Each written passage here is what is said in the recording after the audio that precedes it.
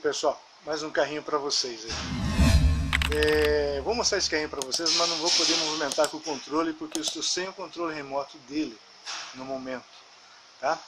Mas apresento para vocês aí o Mini Beachman, Beachcomber, Mini Beachcomber, tá? É um super carro também, todo estiloso, né? E eu vou mostrar para vocês algum detalhezinho deles, dele e vou movimentar com o acelerador, ok? Na frente dele, bonitona. Ele é sem a porta mesmo, é dessa forma aí, tá?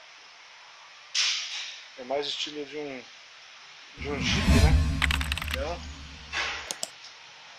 painel dele. Ele marca ali a voltagem dele, que ele é 12 volts, dois motores, tá?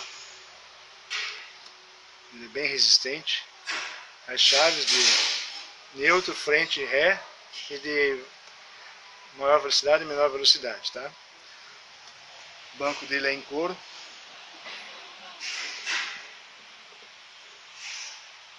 Vamos ver aqui a traseira dele, ó. A traseira dele não é uma traseirona lindona, mas também é bem estilosa.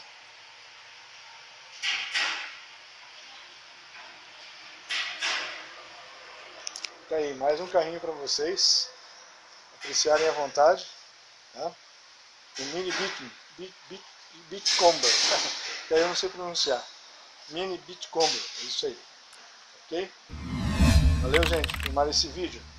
Tchau, tchau.